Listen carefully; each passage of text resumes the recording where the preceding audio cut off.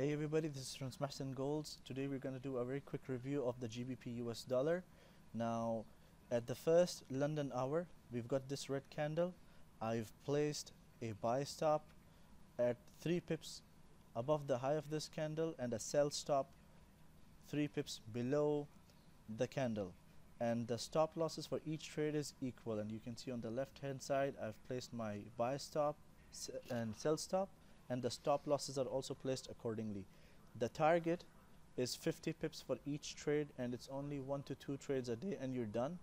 All what you have to do is monitor the trade before sleeping at night, before the US session ends. You have to close your trades if your targets were not hit or if you have a minimal floating loss or minimal take profit. So we're going to keep you updated. The reason I use the 10 o'clock Kuwait time candle is this is when the European markets open from 10 to 11 and they make their financial trading decisions. And I want to join the big uh, traders. So we'll come back in with an update soon. That's all for now. There will be a detailed video on telling you how to make 50 pips a day from the pound dollar pair. So thank you for watching. If you have any questions you want to ask something you can leave your comments in the comment section below